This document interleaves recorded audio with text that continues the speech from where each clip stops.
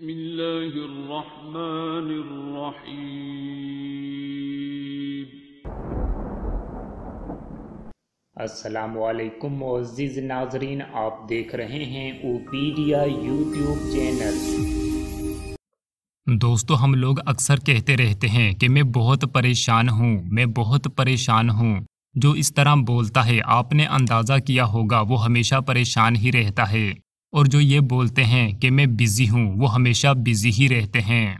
जो लोगों को टालने के लिए कहते थे, मैं बीमार हूँ, मेरी तबीयत ठीक नहीं, अब वो हमेशा बीमार ही रहते हैं। ये बहुत लो वाइब्रेशन वाले अल्फाज हैं। हमें हमेशा बोलना चाहिए, मैं इजी हूँ, और मैं हर किसी को वो जैसा है कबूल करता हूँ। मुझे किसी से कुछ नहीं चाहिए। इस तरह आपको किसी से कोई तो नहीं रखनी पड़ेगी कि मेरी बात सुनो, मुझ पर ध्यान करो, मुझे मोहब्बत दो। हमें मांगना नहीं है, हमें सिर्फ़ देना है। यानी सुबह आपने ये सोचना है कि मैं पुरसकून इंसान हूँ। मेरा जिसम बहुत सेहतमंद है। आप जैसा सोचेंगे, वैसा बनेंगे। जितना सोचेंगे कि मैं बीमार हूँ, मेरी कमर में दर्द है, घुटनों में दर्द है, मेरे सर में दर्द है, मर्ज बढ़ता जाएगा। यानी बीमारी के बारे में सोचना मर्ज को और बढ़ावा देता है।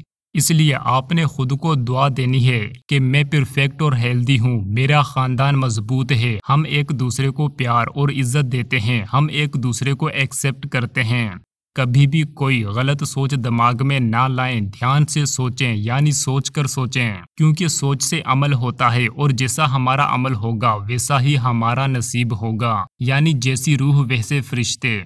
ये बहुत मशहूर कहावत है, यानी जब फरिश्ते रूह कब्ज करने आए तो जैसे हमारे अमाल होंगे तो फरिश्ते भी उसी तरह के ही आएँगे। यानी अगर अमाल नेक होंगे तो फरिश्ते नेक आएँगे, और अगर अमाल बद होंगे तो अजाब के फरिश्ते आएँगे।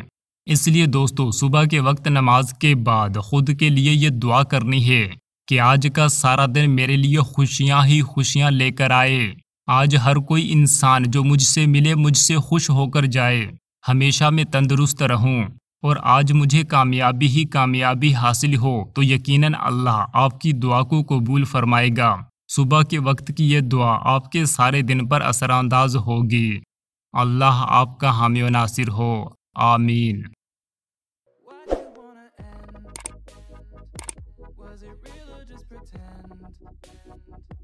Tell me why do you wanna end? And.